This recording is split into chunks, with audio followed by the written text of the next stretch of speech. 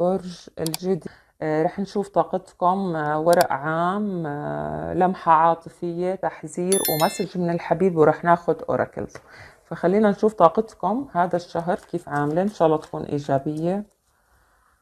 طاقة حلوة. إن شاء الله تكون لبرج الجدي. عم بشوف طاقة اللي هو من بعد انتظار آه يعني طاقة انتظار رح تكون في أول الشهر آه ولكن بشوف بعد الانتظار في حصاد يعني في عندك طاقة آه طاقة كبيرة لحتى تتحمل آه اللي هو الانتظار اللي قلنا عليه ولكن في عندك حصاد في نهاية الشهر أنا بشوفها لأنه هاي هاي الطاقة عم بتكون بطيئة شوي. فنحن فتحنا على أكتوبر فعم بشوف لنهاية الشهر لحتى تحصل آه، على الموضوع اللي كنت تحارب عشانه أو كنت تنتظره. يا جدي. شوف بشكل عام إذا. جدي عندك سفر حبيبي.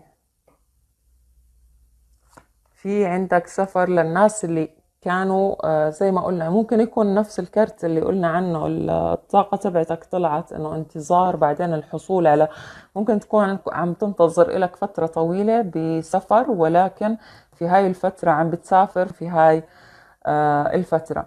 عم بشوف الطاقات قبل ما أنسى عم تكون هوائية ترابية بامتياز آه، مائية. أكثر شيء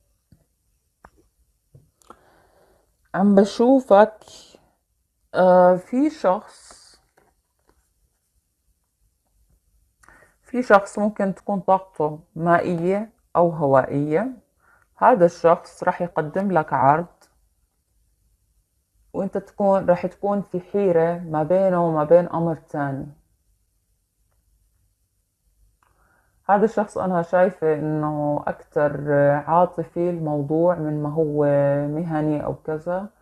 آه هذا الشخص عن جد عم بيقدم لك من قلبه وعن جد آه هو إنسان بيستحق إنه ينعطى فرصة. فمستغربة ليش أنت عم بت بتصد أو عم بتقارن أو عم بتحاول تختار؟ هذا هذا شخص آه، مبين بالأوراق آه، رجع تكرر عنا هون يعني مصر على طلبه مصر على آه، خلينا نقول على ممكن يكون على فكرة كمان ترابي مصر على طلبه. رح يصر كتير شايف العلاقة مستمرة مع هذا الشخص مع إنك رح تفكر كتير لأنه يمكن شخص شوي الظاهر مش مبين آه زي الباطن الظاهر مش زي الباطن. آه ما بيعرف يعبر عن مشاعره يمكن انت فهمته غلط. آه هذا الشخص رح يرجع بأكثر من عرض بأكثر من أكثر من مرة.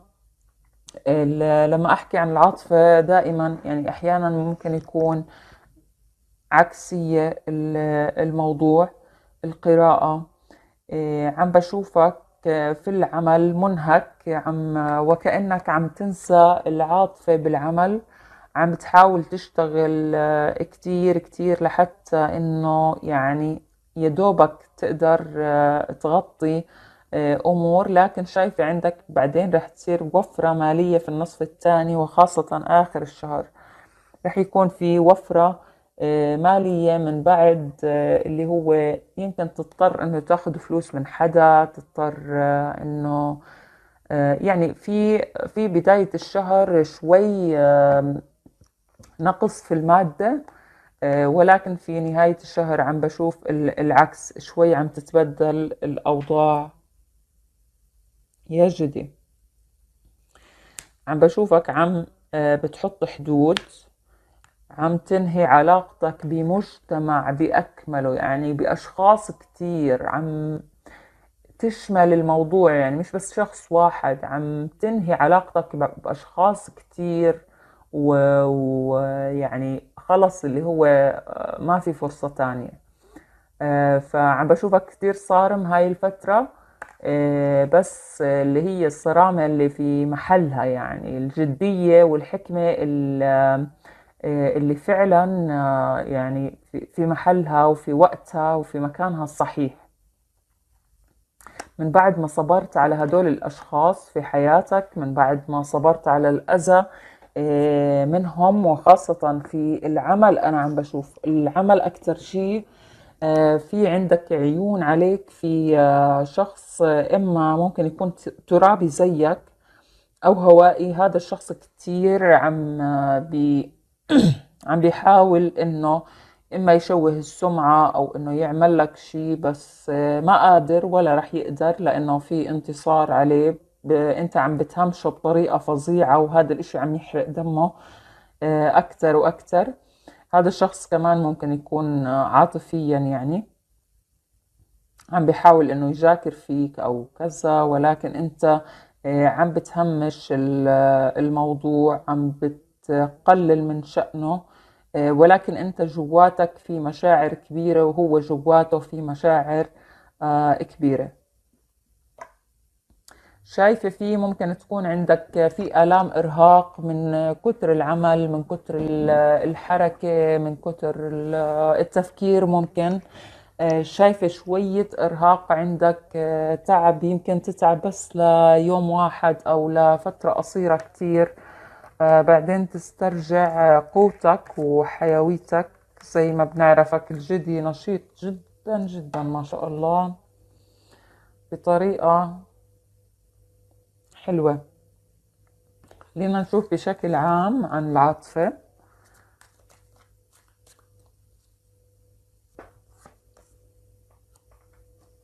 بشكل عام عم بشوف علاقة ثلاثية مسيطرة ب... ولكن عم عم تتهمش من الطرفين منك ومن الشريك. شايفة في بعد عن العلاقة الثالثة. آه، ولكن راح تكون هي يعني بارزة أكثر إشي في في النصف الآخر أو في النصف الثاني من آه، أكتوبر. بالنسبة للمتزوجين آه، ممكن يكون في خلينا نقول مشكلة شوي عابرة شوي في شوية شك شوية غيرة ولكن هذا الموضوع شوي رح يتصعد يمكن من طرفك أو من الطرف الآخر آه، ولكن بعديها رح تروق الأمور. يعني مش هالمشكلة الكبيرة لكن أنا بتوقع المشكلة إلها علاقة في علاقة ثلاثية. أنت في قرار معلقه أو الطرف الثاني معلقه آه، ما شايفة الأمور عم تصفى مية بالمية بهذا الشهر. يمكن الشهر اللي بعده إن شاء الله يكون أحسن. بس شايفة شوي في آه، أمور معلقة في انتظار في آه، بالنسبة للعاطفة آه، بالمستقبل ممكن يكون جدا في عائلة مع الشخص اللي بتحبه. ولكن في هذا الشهر أنا عم بحكي عم بتكون في علاقة ثلاثية شوي عم بتخرب المواضيع والأمور آه، مع إنك أنت في كامل قوتك عم بتحاول آه، توقف هذا الموضوع أو تنسحب منه آه، ولكن في النهاية أنت بتحب الطرف الثاني والطرف الثاني عم بحبك عم بشوف في حب صافي بيناتكم مع وجود أشخاص كتير حساد أو أشخاص عوائق ممكن تكون هاي في العلاقة ولكن الحب موجود. هذا أهم شيء يعني موجود بشكل فظيع. عشان هيك في في تعليق آه، للأمور. قلت آه، نفس الشيء العلاقة الثالثة رجعت آه، بينت. إذا في آسفة لبرج الجدي يعني إنه قراءة مش كتير إيجابية طلعت. ولكن الحلو في الموضوع إنه مستقبلا رح يكون في بوادر خير رح يكون في خير على بالمادة على فكرة وبالعاطفة مع إنه ورق عاطفي. آه، في ممكن يكون آه، أشخاص معجبين فيك ولكن أنت ما عم تعطي آه، فرص. هذا الشهر بشوفك عم تعطي فرص كتير. انت يا برج الجدي إما من مرة ما تعطي فرص أو عم تعطي فرص كتير. فعم بشوفك عم تعطي ناس كتير أهمية وهم ما يعني ما جديين ما كتير عم بيكونوا جديين في الموضوع. احذر بس من الأشخاص الجداد في حياتك أو اللي بدك تدخلهم. يعني حتى لو كنت تعرفهم بدك تدخل معاهم في علاقة إذا كانوا هم هوائيين أو حتى ناريين. آه، شوي نحذر من هذا الموضوع. آه، في ادكشن رجع بين عندي إدمان معين على شيء معين. آه، عم بتحاول إنك تتركه ولكن يعني هذا الشهر كمان معلق هذا الموضوع.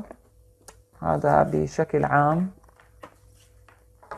نرجع نعمل قراءات تفصيلية طبعا بس عم نعمل بشكل مختصر لحتى ما نطول عليكم. إيه، خلينا نشوف التحذير هاي الفترة لبرج الجدي شو عم بيكون؟ أوه نفس الكارت اللي طلع. مش عارفة لأي برج. إيه برضو توقيع على عقد. في عندك عقد زواج. إن شاء الله ما يكون طلاق يا رب. لأنه شايفة في قلب حب في حب الموضوع في يعني هذا الموضوع خير مش شر. فهو توقيع على أوراق إما تكون سفر أو زواج أو عمل ففي توقيع عقد. بس بقول لك احذر إنه أدرس الموضوع منيح قبل ما تاخذ القرار. كمان ممكن يكون عندك مساءلات قانونية. شغلات لازم تسكرها. أو شغلات طارئة قانونية ممكن تطلع لك هيك فتكون حذر شوي يا برج الجدي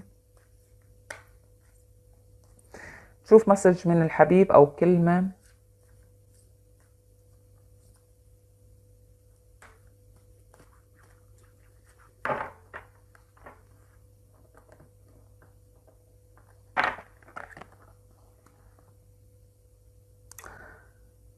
Um, بحكي لك I need time to heal. بده بده فترة عشان يستشفي. ما بعرف شو انت عامل له. آه ممكن تكون عكسية القراءة طبعا لأنه عاطفية.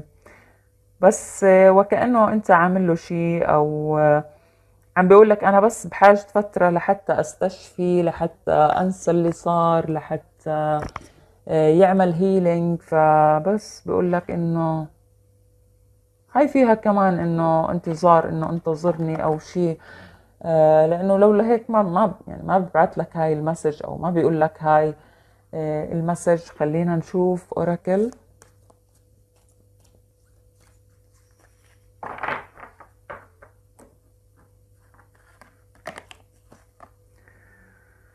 آه برج الجدي. في مين؟ هاي ممكن تكون تحذير يعني نصيحة. في مين عم بيبني لك قصور في الهواء أو بيت في الهواء أو أوهام. فبيقول لك يعني احذر من من من هاي المواضيع. في مين عم هذا الشهر عم يعيشك بأوهام أو عم بكذب عليك عم عم بشوفه عاطفي هذا الموضوع. بقول لك احذر من هذا الموضوع. حبايبي برج الجدي بشوفكم بالفيديو الجاي وباي.